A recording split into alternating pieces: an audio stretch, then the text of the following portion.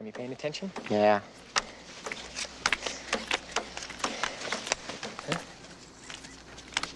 You watching that? Yeah. You seeing that, Ray? You catching that? Yeah, falling on Yeah? the ground. Okay, Yeah. now what? What do I have left? Two jacks, one eight, one king, one six. Two aces, one ten, one nine, one five. One five. You are beautiful, man.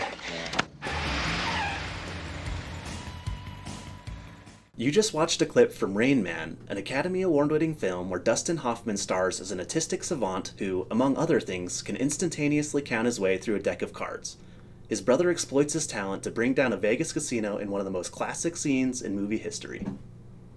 Rain Man is one of my top 10 favorite movies, and it inspired me to create a card counting, blackjack playing AI that I call Rain Man 2.0. Rain Man 2.0 currently consists of a camera and a Python script that runs on my PC. As cards are dealt in front of his camera, they're passed into a machine learning neural network that identifies and counts each card. Rainman only needs to see the rank and suit information in the corner of the card to identify it. The cards can be identified even when they're overlapping or when they're against a noisy background. Rainman 2.0 can count his way through a full deck of cards. He keeps track of what's come out of the deck so I know exactly what's left. When a few enough cards remain, I can tell you what they are without even looking at them, just like Rain Man can in the movie. Ready? Let's try it. 5, 8, Jack, 2, 3. There we go. It works. So, you might be wondering, when am I going to take this thing to a casino? Well, there's a couple catches.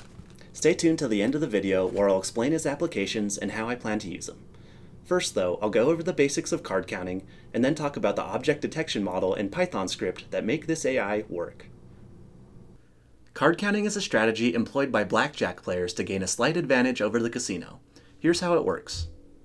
At the beginning of a new deck of blackjack, the count starts at zero. As cards are dealt out, the player adds or subtracts from the running count depending on the value of the card. if the card is a 2 through a 6, the count is increased by 1. If the card is a 10, face card, or an ace, the count is decreased by 1. If the card is a 7 through 9, the count doesn't change. Right now we have plus 1, minus 1, and 0, so the running count is at 0. Let's finish dealing and count the rest of the cards. It's another minus 1, 0, minus 1, and plus 1 brings us to a running total of minus 1. That's all there is to it. When the count is high, it means there are significantly more 10 value cards and aces remaining in the deck than there are low cards. 10 cards and aces are more valuable to the player than they are to the dealer. At high counts, the player can increase their bet since they know they're more likely to win. they can also change their betting strategy and do things like splitting tens to take advantage of the extra high cards in the deck. Boom. Boom. That's a winner.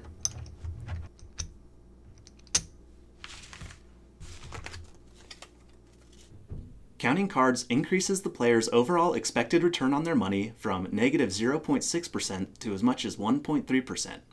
This means they can expect to win money in the long term, effectively beating the casino. For a brief introduction to card counting and its impact on House Edge, check out wizardofodds.com, which I've linked in the video description below.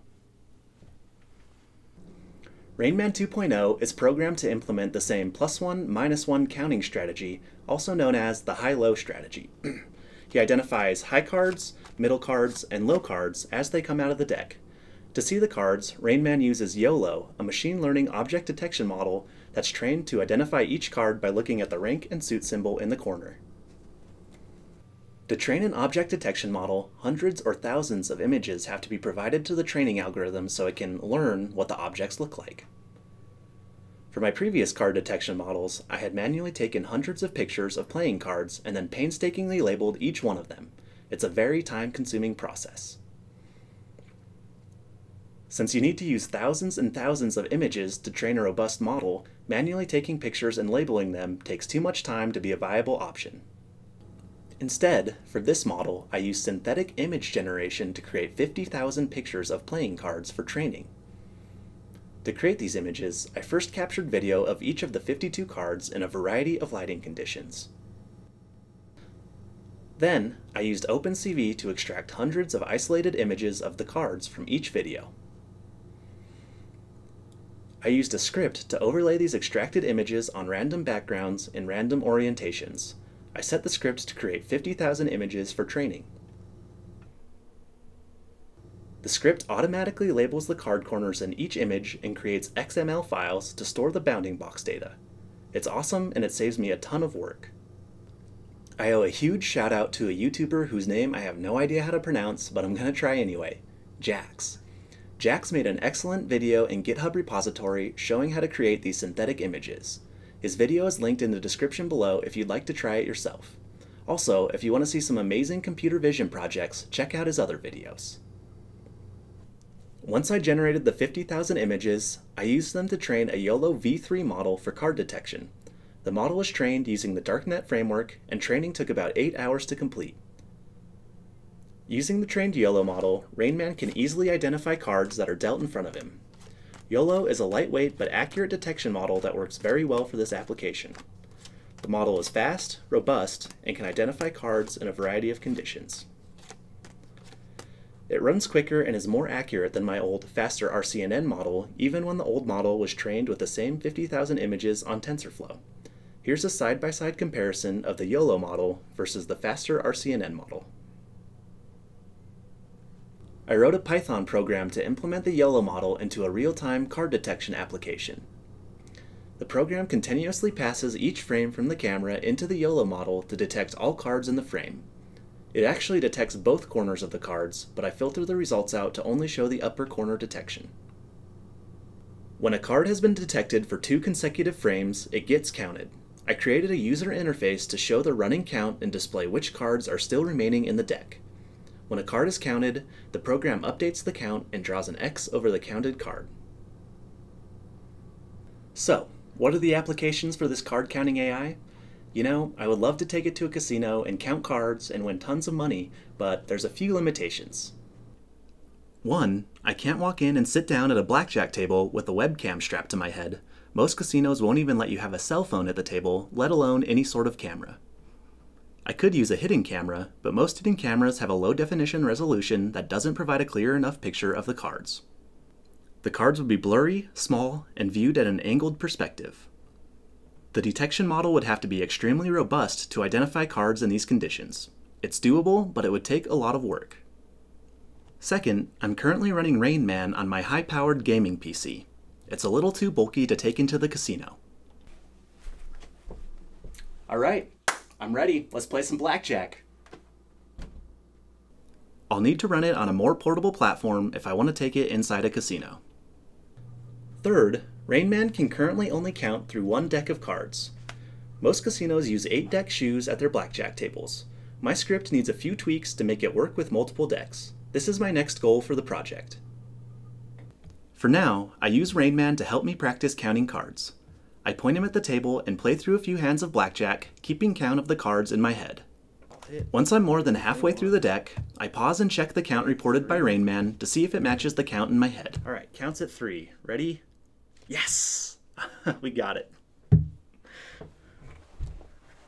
With a few changes, he could be used to help players make informed decisions in other card games like Texas Hold'em, Hmm.